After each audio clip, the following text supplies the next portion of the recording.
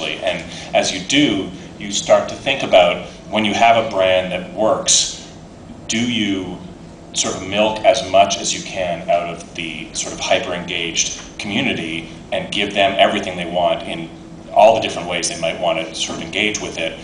Or do you start to broaden it and potentially lose some of the sort of intense appeal that that may have had to those individual people? And in broadening it, you may sort of dilute the, the value of the brand. So we're facing that choice right now, but I think that when you, when you see a brand succeed, you definitely leap at all the opportunities you can in, in all the different media, both domestically and, and internationally. Um, if you if you have the, the megaphone um, to make the noise, then you, you definitely try to yell through it um, as loudly as possible.